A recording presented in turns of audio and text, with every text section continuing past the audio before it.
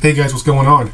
Yeah, I know you haven't seen the Celtic Tapestry in quite some time. I remember I had that uh, backup uh, in the background in my early videos way back five years ago. So long ago. So, yeah, don't have it in my bedroom anymore. I have it uh, in the hallway. But, uh, yeah, six, 600 subscriber celebration. Thank you to each and every one of you for uh, subscribing to my duct tape production of a channel. oh, man and for my count them all 15 subscribers on Odysee, which uh, will be my future. I'm surprised I've lasted as long as I have on YouTube, but again, like I said before, it's only because my channel is so small. Uh, I know it's nothing in the grand scheme of things, but you should celebrate every milestone, big or small.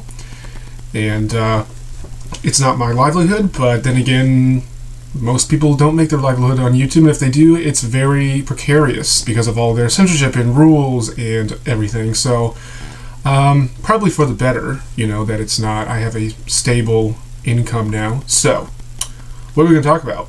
Well, I want to talk about Kyle Rittenhouse, of course, because that case is very interesting. I've done several videos on it uh, throughout the months, but everything I would say, other commentators have already said. Like, so I'll just be repeating, and you probably have already listened to them say it, so there's no point in that. I did want to make a video about uh, kind of a follow up to the video I did about how uh, COVID affects people with autoimmune disorders. I want to make a follow up video on how the vaccine affects people with autoimmune disorders. And I searched the internet far and wide for quite some time, and I found literally nothing. I didn't use Google because they censor everything. I went to the back end sites, DuckDuckGo, other stuff like that, actual medical journals, searching in medical journal uh, databases. Nothing. Every single post, everything, all the information I found was that the vaccine uh, works less effective for them um, they have need they have need more boosters more often, and it's just less effective. So that's all I found. That's and every single else is like more research on other effects is still being conducted. Nothing has been established yet, which I thought was kind of odd, but that's just how it is with a new virus, it takes a long time to gather enough data to make a conclusion or state anything definitive. That's why jumping the gun and making all these preliminary uh, statements about things, you, are wrong half the time because you you rushed it. So that's going to have to wait. So what what can we talk about to celebrate our 600 subscribers? Well, we can tie in the Kyle Rittenhouse trial to the premise of the video that there is a two tier justice system in this country now, just like there is a two tier economic rules for people. Now, how do they divide this? What are the tiers? What are the different groups? It's basically if you're a Democrat or you're if you're Republican, if you do something for a Republican cause or you do something for a Democrat cause, then that determines how the justice system approaches you. Now, what do I mean by that? If you riot and kill in the name of Black Lives Matter, you burn down a store and you stab people, the police don't care. They stand, they stand down, they let it happen. They don't go after you. The FBI doesn't go after you, even though Black Lives Matter is, by definition, a terrorist organization. They don't go after you. No one gives a shit. I mean, people like you and me care. Conservatives care. Libertarians care. Regular people care. Regular police officers care. But when their police sergeant, their chief says, we're not allowed to look into this, we're not, not allowed to go after these people, these are the rules being set down from HQ, from the hive mind of the establishment, they can't do anything about it. There are many good people in many um, institutions that are evil, but they can't do anything about it. So they're not in positions of power to do anything about it. So again, I'm not trying to paint all police officers as, oh, they don't care that Black Lives Matter around killing people and burning stuff down. No, uh, most of them do care. But they're hamstrung by government fucking bureaucrats. Same thing, we can tie this in with the Afghanistan um, debacle. It's not like the military couldn't have gotten the civilians out if they wanted to. Of course, they had the capabilities to do so. Of course, the commanders and the soldiers cared about these people, and of course, they wanted them out. But when Joe Biden stumbled around like a complete fucking retard, he's like, "No, just leave them go." they can't do anything. If they disobey orders, they'd be tried for treason and dishonorably discharged from the military. In fact, some of them did disobey Joe Biden's orders in a workabout fashion, and they went out in the dead of night and did uh, raids to these people's houses to get them out of Taliban uh, control in dead of night. So those people cared. So, tangent. When I say police officers don't care that Black Lives Matter around burning some stabbing people, that's what I mean. The chiefs, the people giving the orders, the governors who are in charge of the police, who give orders to the police chief, who can get rid of the police chief if they don't like him. He's like, okay, you're not obeying my orders, I'll just kick you out and get someone else, some other uh, affirmative action hire, low IQ brainlet to be my chief police officer who just runs around doesn't care about the Constitution just does whatever I say. So, back to the point. If you're a Black Lives Matter terrorist stabbing people and burning things down, no one cares. Nothing happens to you. If you're Kyle Rittenhouse and you go out to protect businesses, while being the businesses ask the police uh, force asked the he I think he was a police cadet. So like some of the groups he was in, they asked his group. It's like some police cadet for like 17 year olds, like if they're coming to be a police officer, like that. And they asked him, "Can you help defend our businesses because our cars are being burned and broken into, our, our gas stations are being bombed, and the police officers just sit there and watch it." So okay, we'll go out. So if you're Kyle, you go out and you do a noble and brave thing that is very rare for a 17 year old to do nowadays, and you are attacked by violent, I can believe explained, violent pedophiles and wife beaters and professional criminals, and you defend yourself and you kill some, then you are put on trial. You are labeled a white supremacist by Joe Biden and by all of the Democratic media and all their little cronies and all these little little uh, brainlet Democrats running around. He's a white supremacist. He's a white supremacist. He's a white supremacist, with no proof. You're being called a terrorist. You are being called a right wing extremist.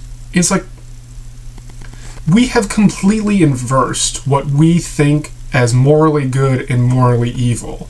We have completely 180 switched it from how we have historically looked at it for the shitload 99.9% of human history up until like even within my lifetime like if you this same thing would have happened in like 1995 everyone would be like uh, no, these guys are terrorists. Fucking kill them or put them in jail and put this shit down. They're killing innocent people, and good on you, Kyle, for killing them. That's what everyone, Republican or Democrat, would have said in 1995. 2005, even for that matter. This is such a relatively new thing that is being put into low IQ brainlets people's heads and it completely inverses it.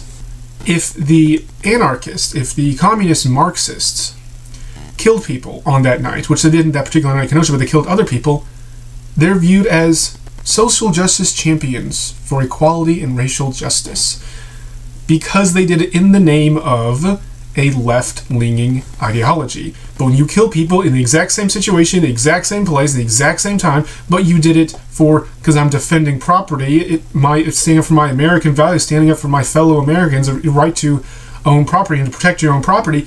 Oh, then you're an evil white supremacist, uh, right wing militia, uh, white supremacist.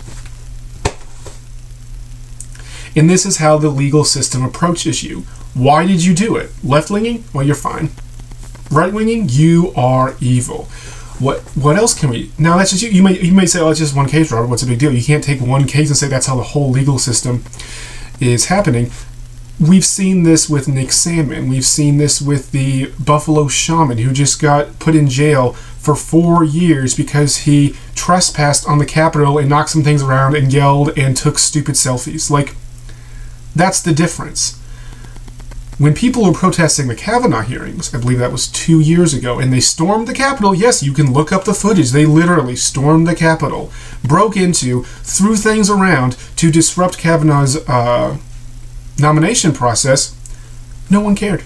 No one called it insurrection. No one called them terrorists. No one was charged. At least I don't think so and it was a whole big nothing burger. The media talked about it. Oh, it's no big deal. No, they're protesting a serial rapist. Remember, they labeled Kavanaugh a serial rapist with no evidence whatsoever. And then once he got confirmed, everyone just shut the fuck up and never say anything ever again because they are habitual serial liars and psychopaths. But that's beside the point. Um, no, no one called that insurrection. But then when right wing people break into the Capitol and shuffle some things around and disrupt the process, then that is the worst fucking insurrection to have ever happened on planet fucking Earth on the scales of 9 11 and Pearl Harbor. It's not even a double standard. That would be an injustice to how much of a magnitude of the difference of the, uh, what am I trying to say? Difference of the response that Democrats and their media cronies and the justice system apply that. No one was put in jail for breaking into the Capitol for the Kavanaugh hearings. The January 6 rioters are being held in solitary confinement without access to lawyers or doctors, which is breaking a plethora of fucking constitutional amendments. And they are being given obnoxiously ab- abhorrent, over the top uh, punishments for essentially all they were doing was trespassing. They didn't kill anyone. They didn't set anything on fire. They didn't do any of that shit that Black Lives Matter thugs and their Democrat cronies have been doing for months now.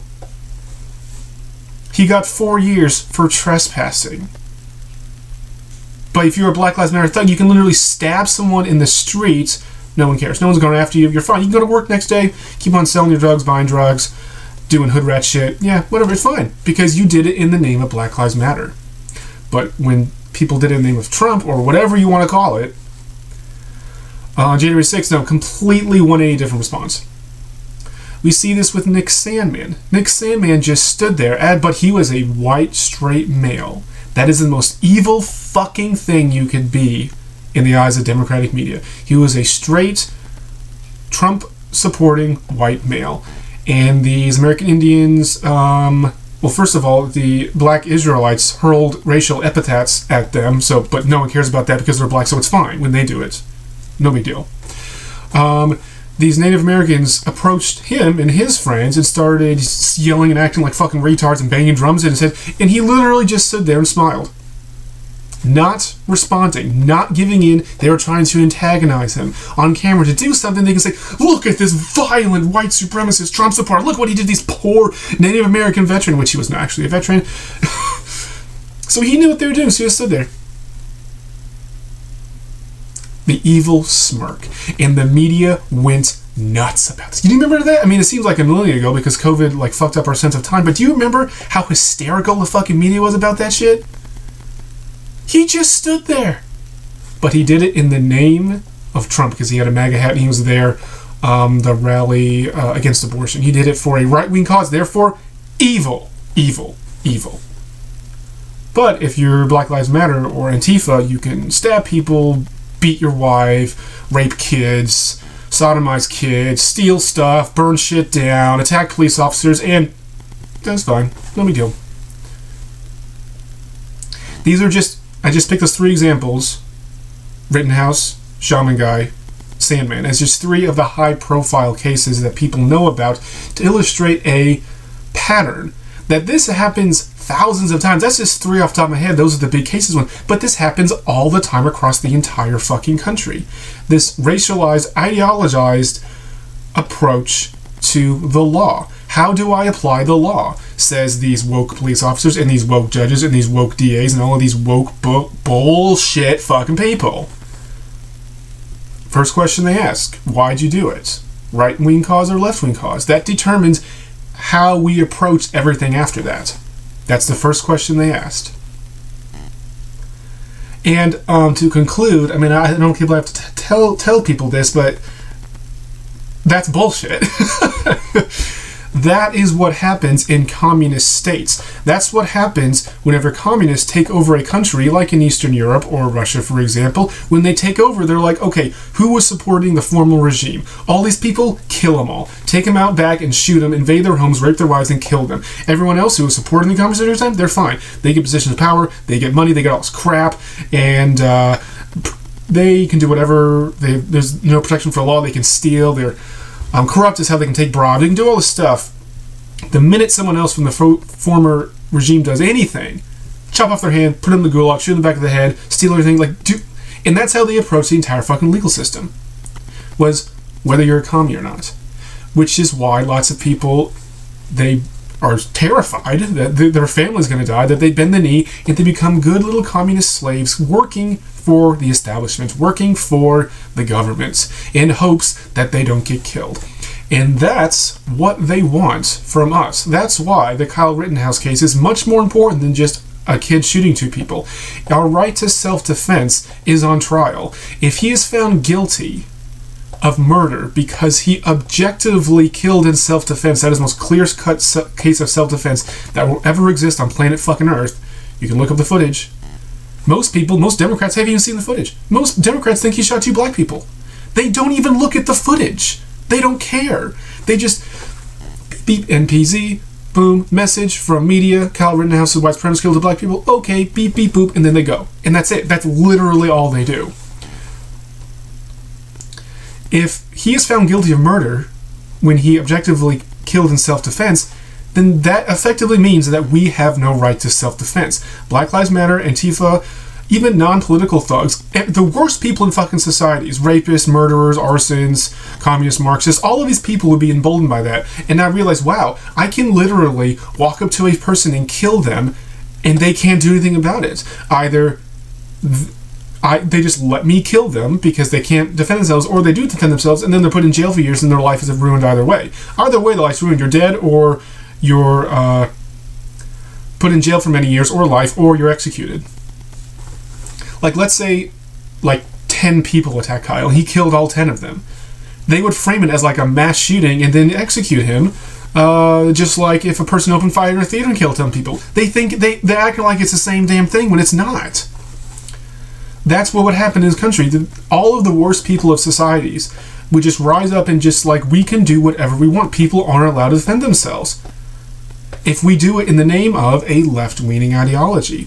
Then we can just go up and kill people, steal their stuff, rape their wives, sodomize their children, and no one will care. The, the law will do nothing about it. And if anyone dares to defend themselves, well, they'll be arrested. That is such a horrifying, terrifying, disgusting state of affairs. They're like, oh, you right, Robert. Like that would ever happen. It's happened historically dozens, if not a hundred times throughout the centuries. That's what happens. These people act like, oh, you know, all that World War II and stuff, and all the the mass murders and all the all the communist stuff. You know, that was like a century ago, man. Like it, that stuff doesn't happen now. Okay, no one thinks it can't happen until it happens. It's like, oh, it can't happen here. That's what everyone thinks before it happens in all these places where, where it's happened. It's like, oh, that can't happen to me. That's everything. Everyone, everything that's happened to that person. Sorry, what I meant to say was everyone says, oh, that won't happen to me. Oh, it's already happened to someone else. Well, those people who these things happen to, they all thought that too before it happened. So like that's like really stupid way of looking at the world. So that's it. Peace out, folks. Sorry, quick update. My brother just texted me right I was done doing this video that Kyle Rittenhouse was found not guilty on all fucking charges. Thank you. This was so fucking important. Our right to self defense is enshrined in the Constitution, and the justice system upheld it today. Thank God it's not all corrupt. Thank God they were not that racialized, idealized bullshit with the George Floyd case. Which I did a video how that was complete fucking bullshit. Yes, thank you. This is a good news for all Americans. You are allowed to defend yourself. You are allowed to defend your own property. You are allowed to kill people who are trying to kill you. You are allowed to kill communist Marxists who want to burn the whole fucking world down. You cannot take away our guns. You cannot take away our right to defend ourselves and our own families. Fuck that shit. Thank you.